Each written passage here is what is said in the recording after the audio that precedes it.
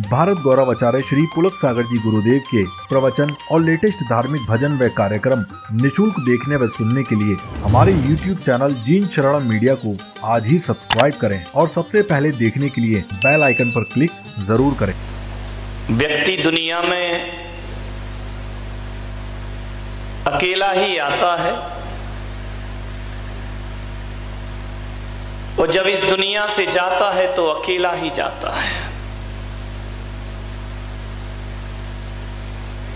इस आने और जाने के सफ़र में अपनी नई मंजिल की तरफ़ बढ़ने में, मृत्यु के बाद की यात्रा करने से पहले, जन्म मरण की श्रृंखला के बीच हम लोग जिस परिवेश में रहते हैं जिसमें उठते हैं, बैठते हैं, चलते हैं, खाते हैं, पीते हैं, अपने व्यक्तित्व का निर्माण करते हैं, उसका नाम समाज हुआ करता है, ध्यान रखिए। हमारा समाज मानव समाज है। केवल इंसानों के समूह का नाम समाज नहीं होता। जहाँ 150 लोग बैठ जाएँ, उसे ही समाज नहीं कहते हैं।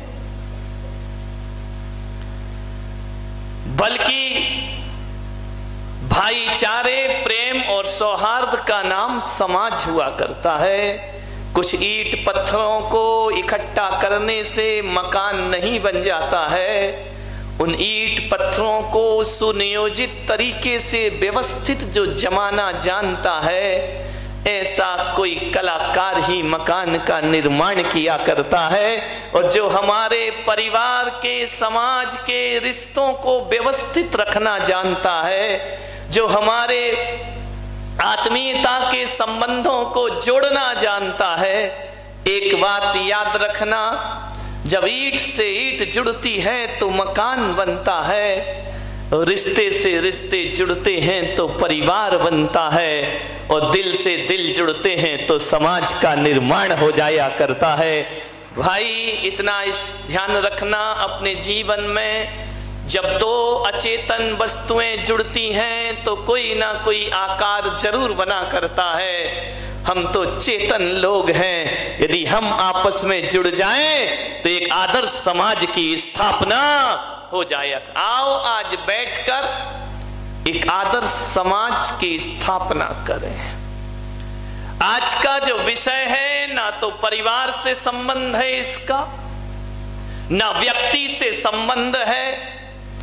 आज का विषय तो समाज और समूह से संबंधित विषय है, ध्यान रखिए। एक ऐसे समाज का निर्माण करें, एक ऐसा तीर्थ बनाए एक ऐसी संकल्पना को साकार करें जो आने वाले युग के लिए एक मिसाल बनकर के खड़ी हो जाए।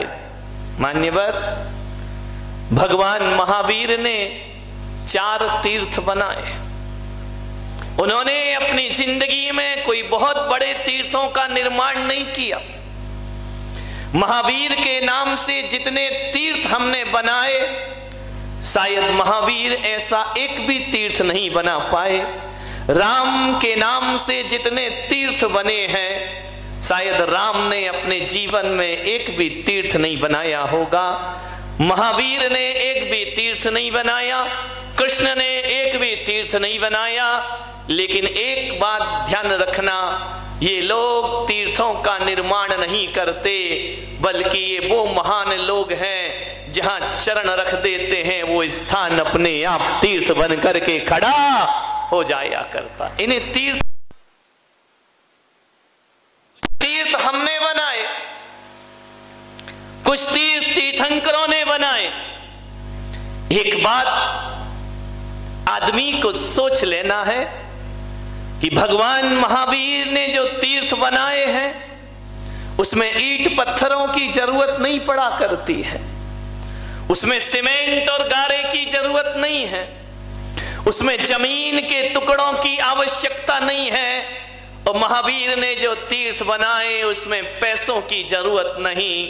उसमें तो प्रेम की ज़रूरत हुआ करती है, आत्मीयता की ज़रूरत हुआ करती है।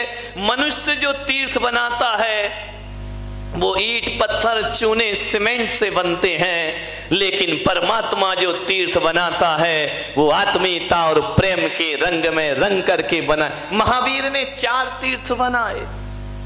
हमने भी बहुत से बनाए।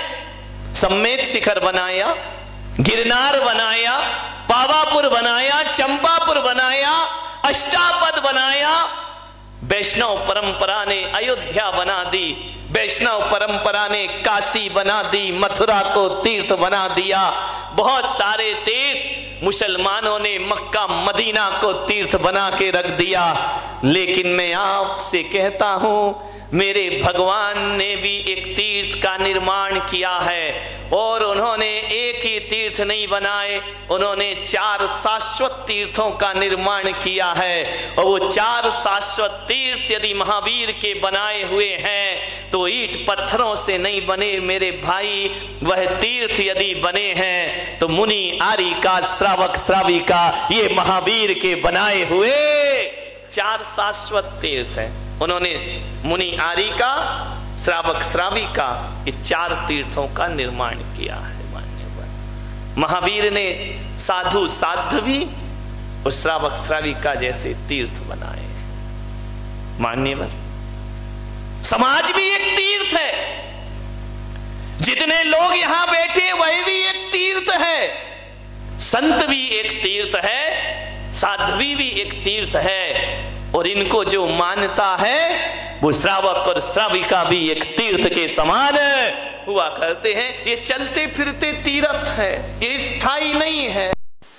ध्यान रखना, पत्थर के तीर्थों का तो जीर्णोद्धार किया जाता है। लेकिन महावीर के तीर्थ तो शाश्वत तीर्थ रहा करते हैं। ये कभी भी जीर्ण शीर्ण नहीं पड़, समाज भी एक तीर्थ है। मान्य। आपसे निवेदन है। ऐसी समाज का निर्माण करें, जिसका धरातल अहिंसा और अपरिग्रह से जुड़ा हो, जिसका चिंतन जियो और जीने दो से जुड़ा हो, जिसके हृदय में करुणा धड़कती हो और जिसके नयनों में दया बरसती हो, वो महावीर का शाश्वत तीर्थ हुआ करता है। लोगों ने कहा कि जैन कौन हुआ करता है? तो मैं पुलक सागर कहता हूँ कि जिसके घर का रसोई घर सूरज डूबते ही बंद हो जाता है और जब तक सूर्य उदय नहीं होता, उसका रसोई घर ना खुले तो समझना वो जैन का घर है, जैन का परिवार है, जिसके घरों में पानी छानने के छन्ने लगे रहते हो। समझना वो किसी जैन का घर हुआ करता है और जिसके घर में संतों के आहार होते हो, समझना वो किसी जैन का घर हुआ करता है। आपके रसोई घर साँझ डलते ही बंद हो जाना चाहिए।